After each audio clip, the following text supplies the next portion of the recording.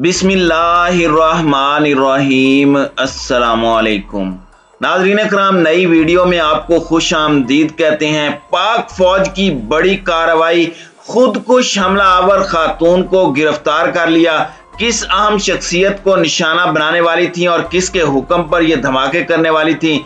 सब कुछ उगल दिया गया, जबकि दूसरी जानब पाक फौज की एक और बड़ी ज़बरदस्त कार्रवाई में पाकिस्तान को बड़ी तबाही से बचा लिया गया है। इन तमाम खबरों की तफसीलात क्या है, इस पर हम आज की वीडियो में बात करेंगे। ताहम वीडियो की तफसील में जाने से पहले चैनल पर नए आने वाले दोस्तों से गुजारिश है कि हमारे चैनल को सब्सक्राइब कर लें, बेल आइकन पर क्लिक कर लें ऑल नोटिफिकेशंस को ऑन कर लें ताकि हमारी नई आने वाली वीडियोस आपको बर वक्त मिल सकें। नाजरीन कराम जिस तरह से पाकिस्तान के खिलाफ हालिया दिनों में दहशत गर्दाना कार्रवाइयों में इजाफा हुआ है, उसके साथ ही पाक फौज की जानब से दहशत गर्दों की सरकूबी के लिए ऑपरेशन में भी तेज़ी लाई गई है। गुजशत चंद रोज के दौरान देखा जाए तो पाक फौज की जानब से की जाने वाली कार्रवाइयों में बड़े पैमाने पर दहशत गर्द और उनके नेटवर्क का सफाया करने का सिलसिला जारी है। जबकि दूसरी जानब दहशत गर्द पाकिस्तान की मौजूदा खराब होती हुई सियासी सूरत हाल का फ़ायदा उठाने की कोशिश कर रहे हैं जब से पाकिस्तान के सबक वज़ीर आज़म इमरान खान की जानब से भरे जलसे में अपने कत्ल के मनसूबे को बेनकाब किया गया। तो उसके बाद से पाक फौज और पाकिस्तान के सिक्योरिटी इदारों की जानब से न सिर्फ़ ऑपरेशन में तेज़ी कर दी गई है इंटेलिजेंस बेस्ड ऑपरेशन में दहशत गर्दों और उनके सहूलतकारों को भी का भी सफाया किया जा रहा है और इसी सिलसिले में एक खातून दहशत गर्द खुद कुछ हमला आवर को गिरफ़्तार किया गया है। ये एक बहुत बड़ी कार्रवाई है और उससे मिलने वाली इंफॉर्मेशन से पता चलता है कि पाकिस्तान के अंदर बड़े पैमाने पर दहशत गर्दों की जानब से अहम शख्सियात और अहम प्रोजेक्ट्स को निशाना बनाने का मंसूबा तरतीब दे दिया गया है। नाजरीन कराम याद रहे कि जामिया कराची के अंदर एक खातून ने खुद कुछ धमाके के ज़रिए चीनी बाशिंदों की वेन को निशाना बनाया था, जिसके नतीजे में तीन चीनी बाशिंदों समेत चार अफराद हलाक हुए थे और तीन जख्मी हुए थे।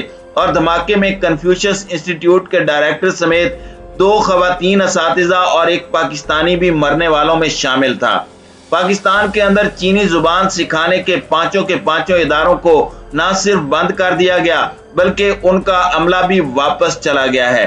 चंद दिन पहले जो मैंने आपको खबर दी थी कि चीनी ज़ुबान सिखाने वाले कोचिंग सेंटर्स को ताले लग गए हैं, और ये पहली मरतबा इतने बड़े पैमाने पर इकदाम चीनी हुकाम की जानब से उठाया गया है। यानी दहशतगर्द समझ रहे हैं कि हमने अपने एक बहुत बड़े टारगेट को हासिल कर लिया है कि चीन की पाकिस्तान के अंदर सरमायाकारी और मामला को खराब करने का एक अहम कदम उठाया गया है।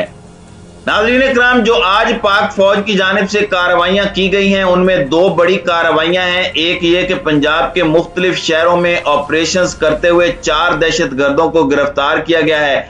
इन दहशत गर्दों का ताल्लुक कलदम तंजीम से है और गिरफ़्तार दहशत गर्दों की शनाख्त फजल इलाही मोहम्मद यासिर अब्दुल्ला और बिलाल कासिम के तौर पर हुई है। गिरफ़्तार दहशत गर्दों की तहकीकात के लिए उन्हें नामालूम मकाम पर मुंतकिल कर दिया गया है। उनके कब्जे से बारूदी मवाद, नकदी और तबाहकुन असला बरामद हुआ है। इदारों की जानब से तहकीकात की जा रही हैं। कि आखिर इनको कौन से टारगेट्स दिए गए थे और कौन सी अहम शख्सियात को निशाना बनाने के मंसूबे पर ये अमल दरामद करने की कोशिश कर रहे थे। गिरफ़्तार दहशत गर्दों के अलावा 18 से जायद मजीद अफराद को भी हिरासत में लिया गया है, जिनसे तहकीकात की जा रही हैं। दूसरी जानब जो मैंने आपको पहले बताया कि तुरबत में सीटीडी और वुमेन पुलिस ने बड़ी कार्रवाई करते हुए खातून दहशत गर्द को गिरफ़्तार किया है खातून दहशत गर्द का ताल्लुक कलदम तंजीम से है और धमाका खेज मवाद और हैंड ग्रेनेड भी उससे बरामद हुए हैं। गिरफ़्तार खातून दहशत गर्द सी पैक रूट पर चीनी काफिले पर हमला करना चाहती थी। खातून का ताल्लुक उसी ग्रुप से है, यानी मजीद ब्रिगेड से, जिसने कराची यूनिवर्सिटी में खुद कुछ हमला किया था। दूसरी जानब, गुजशत रोज रोडी के करीब सीटीडी ने एक बड़ी कार्रवाई करते हुए कलदम तंजीम दाइश के एक अहम दहशत गर्द आबिद गुरगेज को गिरफ़्तार किया।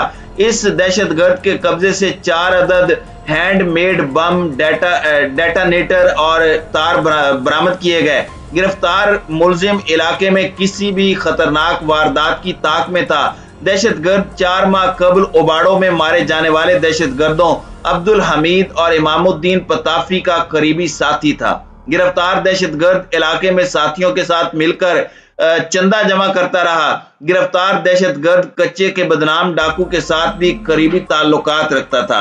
दहशत गर्द ने पुलिस की रैकी की ज़िम्मेदारी संभाल रखी थी और धमाके के दिन मोबाइल सिग्नल ड्रॉप होने की वजह से वो साथियों को पुलिस चेकिंग की बर वक्त इत्तला न दे सका। मुलजिम ने खुद कुछ जैकेट बनाने, आईईडी लगाने और बनाने एंटी एयरक्राफ्ट गन और दीगर असला चलाने की तरबियत हासिल कर रखी थी। पाक फौज की जानब से, पाकिस्तान के सिक्योरिटी इदारों की जानब से ये की जाने वाली एक ज़बरदस्त कार्रवाई है, जिसमें दहशत गर्दों का एक बहुत बड़ा नेटवर्क तबाह किया गया है। दुश्मन इस वक्त पाकिस्तान की सलामती और पाकिस्तान की सलामती के मंसूबों को निशाना बनाने के दरपे है। पाकिस्तान के खुफिया इदारों की जानब से इस बात की रिपोर्टें अरसा दराज से दी जा रही हैं कि अमेरिका खत्े से फरार होने के बाद पाकिस्तान को बाकायदा साजिश के तहत खलफशार की जानब धकेल रहा है। हमारी अंदरूनी और बैरूनी सरहदों की जामिन पाक फौजी आलमी इस्तेमार का असल हदफ है। और यह मजमूम सिलसिला कुछ अरसा पहले शुरू हुआ था कि जब पीडीएम से लेकर अब हालिया जलसों में कौमी इदारों के खिलाफ हर्जा सराई की जा रही है। मोहसन दावड़ और अली वज़ीर जैसे लोगों ने सिक्योरिटी इदारों के खिलाफ जो हर्जा सराई की, वो किसी से ढकी छुपी नहीं। गुजशत दिनों भी कौमी असम्बली में जो तकरीर की गई, अब तक किसी ने उसका जवाब नहीं दिया।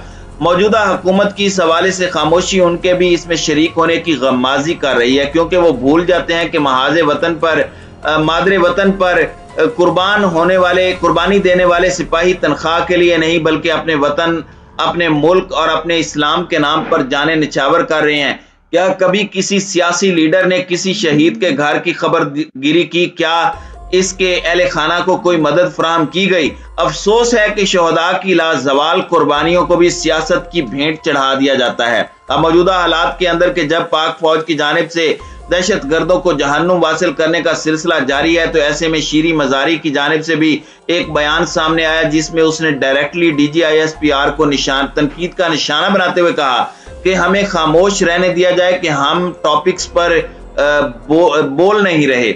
उन टॉपिक्स पर हमें बोलने पर मजबूर ना किया जाए। तो मैं पहले भी कहता हूँ, अब भी कहता हूँ कि पाक फौज के खिलाफ या पाक फौज को मुतनाज़ बनाने की जो घनौनी साजिश पाकिस्तान के सियासतदानों ने शुरू कर रखी है, ये पाकिस्तान को डिस्टेबलाइज करने के लिए है और पाकिस्तानी अवाम को भी इसका नोटिस लेना चाहिए। क्योंकि अपनी सियासत चमकाने के चक्कर में जिस तरह से पाक फौज को हालिया दिनों में तनकीद का निशाना बनाया जा रहा है, ये बिल्कुल भी काबिल कबूल नहीं है, क्योंकि पाकिस्तान की मुसल्ह अफवाज अंदरूनी और बैरूनी दोनों दुश्मनों से बैक वक्त नबर्द आजमाए हैं और साकरे पाकिस्तान के खिलाफ जो मुनाफरत की आग सुलगाई जा रही है, ये सब किसकी इमा पर हो रहा है, इसमें कोई शक नहीं होना चाहिए।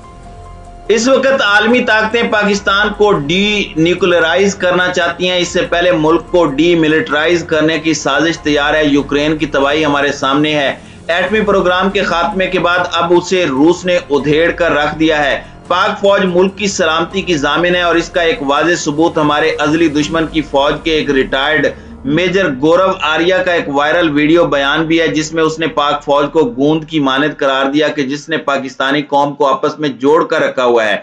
लेकिन लम्हा फिक्रिया यह है कि पाकिस्तान के अंदर सियासी जमातें अपनी गोल स्कोरिंग और अफवाज पर दबाव डालने के लिए ऐसे अनाप ऐसे अनाप शनाप बयान देते हैं, जिससे अवाम और फौज के दरमियान फासला पैदा करने की कोशिश की जा रही है और इसका फ़ायदा उठाने के लिए दहशत गर्द पाकिस्तान के चप्पे चप्पे में कार्रवाइयाँ करने के लिए बेताब हो रहे हैं। लेकिन अल्हम्दुलिल्लाह पाक फौज की जानब से दुश्मन की तमाम कार्रवाइयों को नाकाम बनाया जा रहा है। एक और बड़ी खबर आपके साथ शेयर करता चलूँ कि अफ़गानिस्तान से असले का भरा हुआ एक ट्रक पाकिस्तान रवाना हुआ था। ताहम तालिबान हुकूमत ने कार्रवाई की और ट्रक को पकड़ लिया। तालिबान पुलिस ने कार्रवाई में तीन स्मगलर भी गिरफ़्तार किए हैं। असले से भरा हुआ ये ट्रक पाकिस्तान में भेजा जा रहा था ताकि दहशत गर्दों को असला और गोला बारूद फराम किया जा सके। तो आप अंदाज़ा लगाइए कि दुश्मन पाकिस्तान की सलामती के दरपे है, लेकिन हम अपने जाती मफादात और अपने सियासी मफादात की वजह से फौज को कमज़ोर करने की साजिश में शामिल हो रहे हैं।